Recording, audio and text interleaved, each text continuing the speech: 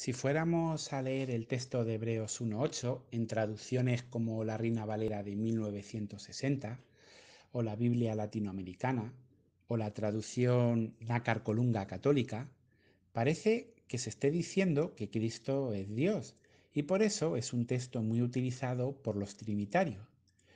Estas traducciones lo vierten de la siguiente manera. Pero al Hijo, tu trono, oh Dios, subsistirá por los siglos.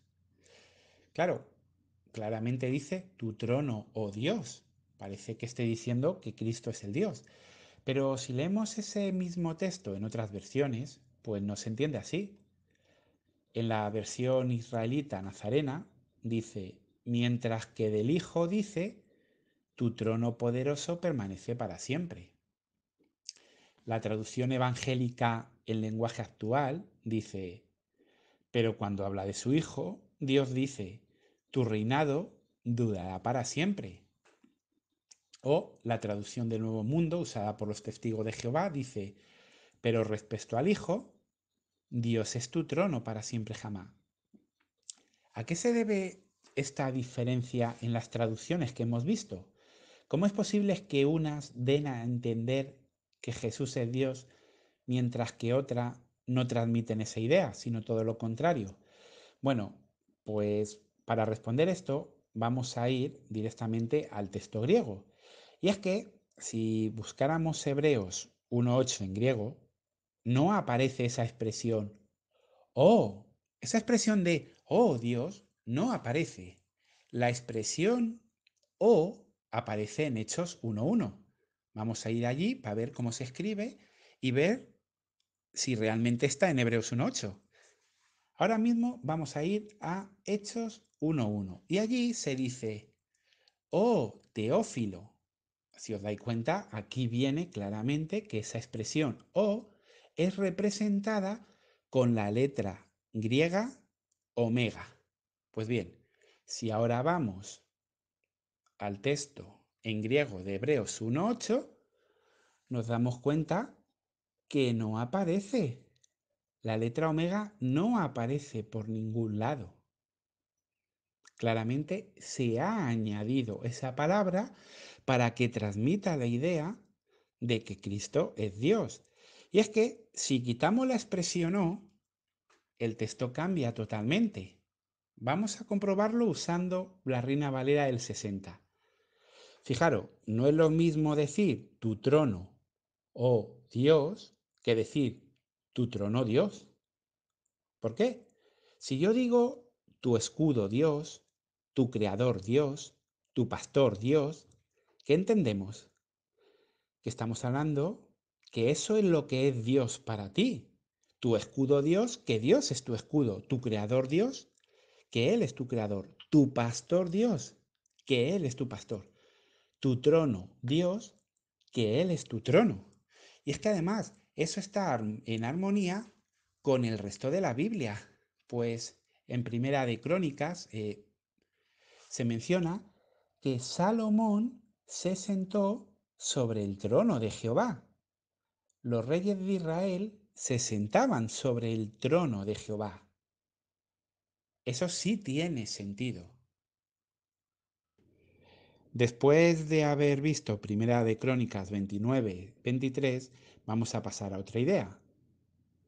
Tenemos que saber, al estudiar este texto de Hebreos 1.8, que en la época de Pablo y de los cristianos del siglo I, el griego se escribía de una forma llamada scriptio continua, o sea, escritura continua, que implica que no había ningún signo de puntuación, lo escribían todo junto haciendo que los copistas y traductores posteriores tuvieran que decidir ellos dónde ponerlos. Y entre ellos, pues no siempre están de acuerdo respecto de dónde se deben colocar los signos de puntuación. Por eso, algunos de ellos usan una expresión que no se encuentra en el griego original, o sea, una palabra añadida, el oh Dios. Ese o es añadido. Y usan una puntuación al margen del contexto para ser posible gramaticalmente que se pueda traducir que Jesús es Dios. pese a que el contexto muestra claramente que no lo es. Un ejemplo de ello es el versículo 9. Versículo que dice, has amado la justicia y aborrecido la maldad, por lo cual te ungió Dios. Sí, a Cristo le unge Dios. Sea, no dice que Él sea Dios, no, no, no, dice que a Cristo le unge Dios. Es más, dice, el Dios tuyo. O sea, Jesucristo tenía un Dios. La Biblia dice que Él tiene un cabeza. Él dijo, el Padre es mayor que yo. Y aquí claramente se dice, tú, Dios, el Dios tuyo. No pone que Él fuese el Dios. ¿Verdad que no existe ni un solo texto en la Biblia que se diga que el Padre o Jehová tiene un Dios? No, porque Él es el Shaddai, el Todopoderoso, el más alto. Sin embargo, de su Hijo sí se dice que tiene un Dios, porque Jesucristo no es el Dios.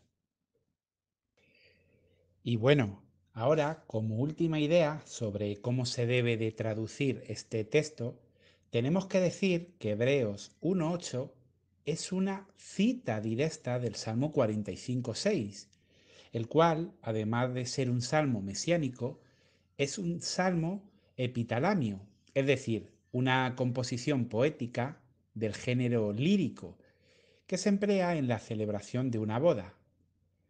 ¿Para la boda de qué rey de Israel se compuso? Pues la verdad es que no se sabe. Eh, hay varios eruditos judíos y católicos que creen que es Salomón, pero solo son hipótesis. Realmente no se sabe este salmo para qué rey se compuso.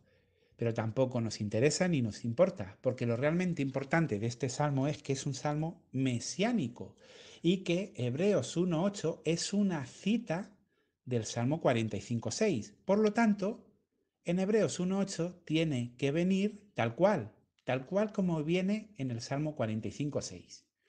Y si vamos a un interlineal hebrea, aquí yo os pongo un pantallazo para que los podáis ver, claramente el Salmo 45.6 dice, tu trono Dios, tu trono Dios, exactamente igual que en griego, tu trono Dios. Como vemos, entre paréntesis, se añade el is, es, para que la frase tenga sentido. Igual que hay que hacerlo en griego, para que tenga sentido ponemos es, pero en los idiomas originales es tu trono es Dios. Y ahora mismo algunos estaréis diciendo, pues yo en mi Reina Valera de 1960, el Salmo 45.6 dice, tu trono, oh Dios. Bueno, nuevamente Vuelve a ocurrir lo mismo que ocurría en Hebreos 1.8. Han añadido, se han inventado, han hecho lo sumo posible para que ese texto, que se sabe que es mesiánico, coincida con Hebreos 1.8, para así poder la doctrina de la Trinidad sustentarla de alguna manera. Pero claramente vemos que en hebreo pone, tu trono es Dios.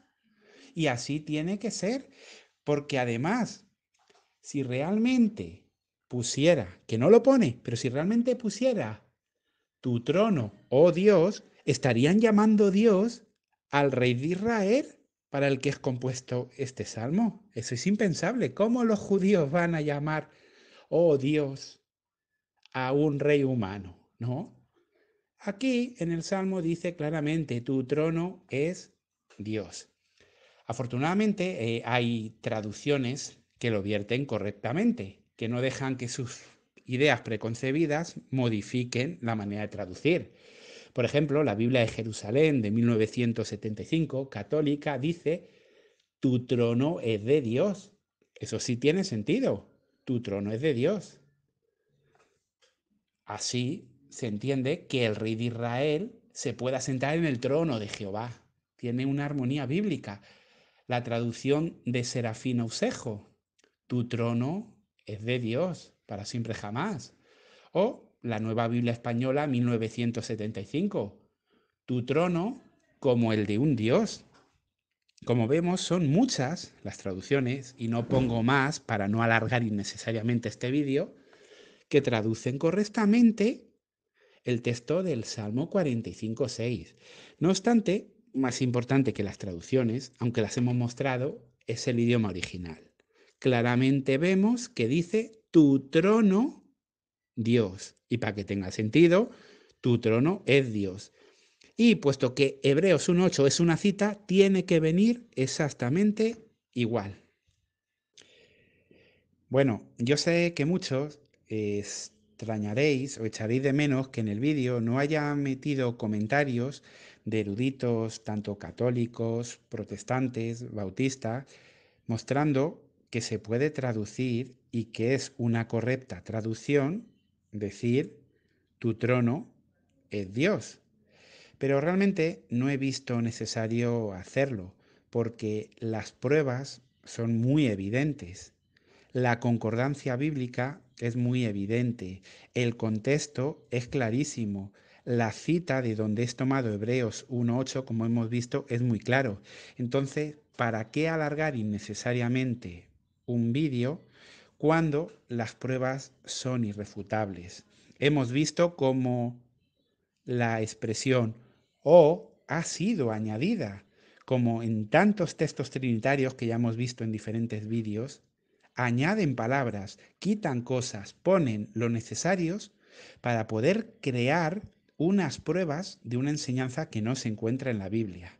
Se han inventado el término o. Se lo han inventado también en el Salmo.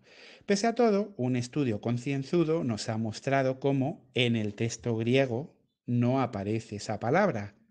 Hemos visto traducciones que lo vierten correctamente. Hemos visto que los originales nos enseñan que se debe traducir tu trono es Dios.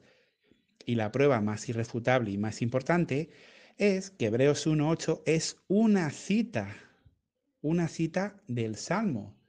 Y este Salmo es clarísimo cuando dice, tu trono es Dios. Lo hemos visto en hebreo y hemos visto varias traducciones que lo viertan correctamente. Por eso, llegado a este punto, todos nosotros deberíamos hacer un análisis, pensar y meditar en por qué cada vez que analizamos un texto que apoya a la Trinidad nos encontramos cosas como estas, palabras añadidas, tergiversaciones, malas traducciones. Es algo para que todos pensemos, pero eso ya en nuestra casa. Ahora, para irnos, simplemente quedarnos con esta idea.